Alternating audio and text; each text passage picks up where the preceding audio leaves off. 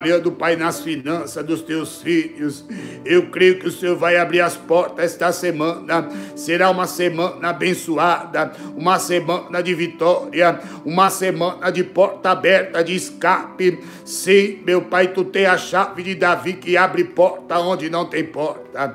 Andará bacalaçuri como dúbria. Assim, meu Pai, que o Senhor abriu a porta para José, que estava humilhado dentro do cárcere. O Senhor vai abrir porta aqui também, porque tem pessoas que têm passado aqui pelo vale da humilhação, e a palavra que veio para José, que estava humilhado dentro do presídio, mas ele deu lugar para Deus no momento mais difícil, no momento mais complicado, no momento em que ele estava aprisionado, deu lugar para Deus e a ferramenta de Deus entregou na mão dele, proporcionou para ele a vitória lá na frente quando ele diz, consegue revelar o sonho do padeiro mora e o sonho do copeiro mora, ele revela a morte do padeiro e a exaltação do copeiro. O copeiro voltou no ofício de copeiro e o padeiro foi para a morte. Aleluia! E ele disse para o copeiro: Lembra-te de mim quando entrares na casa de Faraó.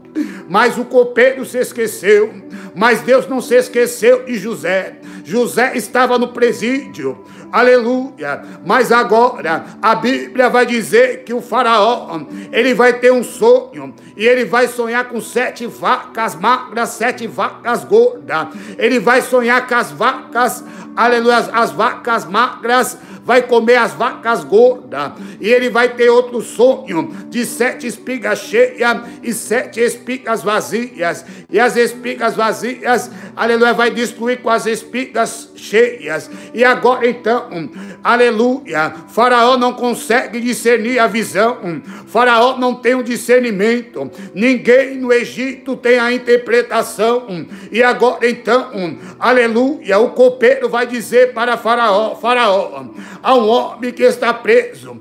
Ele tem o Espírito do Deus vivo. Ele consegue discernir o sonho. Ele discerniu o meu sonho. E eu voltei para o ofício de copeiro, porque ele trouxe a palavra de Deus para a minha vida. Então agora mandar, chama, manda, mandaram chamar José.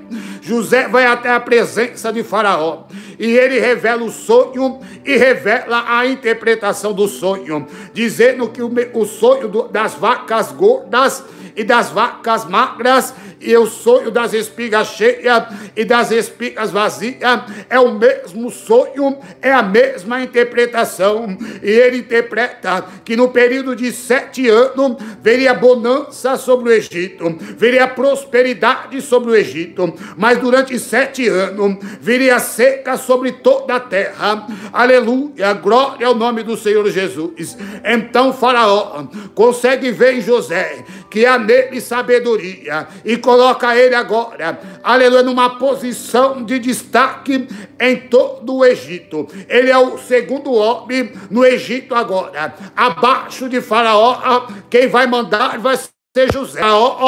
Quem vai dar ordem vai ser José. Quem vai ser exaltado vai ser aquele que estava aprisionado. Deus exaltou José. Oh, glória a Deus! E Ele vai exaltar também você que está passando no processo, você que está sendo perseguido, você que está passando pelo vale da humilhação. Deus vai abrir porta, aleluia, para ti. Deus vai glorificar o nome dele na tua vida. Oh, glória a Deus! Ele virou, aleluia, a história de José. Oh, glória a Deus! E a promessa se cumpriu. Oh, glória! E ele vai cumprir com a promessa dele também na tua vida. Quer o diabo queira não queira, quer o inimigo queira ou não queira, quer aqueles que estão tentando puxar o teu tapete com calúnia, tentando te derrubar, vai ficar envergonhado lá na frente. Aleluia, glória a Deus. A calúnia não prevaleceu contra José. E quem tem promessa de Deus, a calúnia não prevalece. Cedo ou mais tarde, a verdade vem à tona e Deus mostra quem você é. Deus vai mostrar para o teu inimigo que ele é contigo, sim, que você é o escolhido, que você é a escolhida e a porta que ele abriu para você ninguém vai fechar.